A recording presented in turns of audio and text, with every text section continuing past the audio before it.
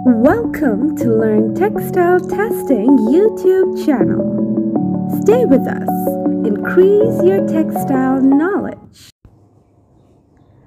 মানব শরীরে অস্ত্রোপচার হচ্ছে চিকিৎসা বিজ্ঞানের একটি গুরুত্বপূর্ণ ধাপ অস্ত্রোপচারের পর শরীরের অভ্যন্তরীণ সামঞ্জস্যতা বজায় রেখে সেলাইয়ের জন্য বিভিন্ন ধরনের সার্জিক্যাল সুতোর প্রয়োগ হয়ে আসছে যুগ যুগ ধরে শরীরের অভ্যন্তরে সেলাই করার জন্য বিশেষ ধরনের সুতোর প্রয়োজন পড়ে যা খত শুকিয়ে যাবার পর খুলে ফেলার প্রয়োজন থাকে না। আর শরীরের অভ্যন্তরীণ অংশ হওয়ায় তা সম্ভবও নয়, বরং সেলাই কাজে ব্যবহৃত। এই সুতো আপনা আপনি শরীরের মাংসের সাথে মিশে যাবে। এরকম যদি সুতো কোনো প্রাণীর চর্বি থেকে প্রস্তুত করা যায়, তাহলে কেমন হবে?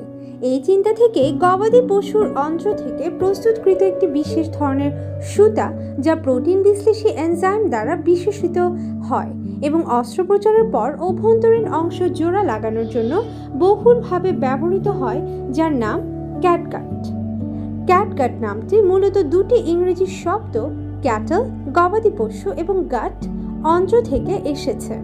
অর্থাৎ গবাদি পশুর অন্ত্র থেকে প্রস্তুত করা হয় বলে এর নাম ক্যাটগাট রাখা হয়েছে।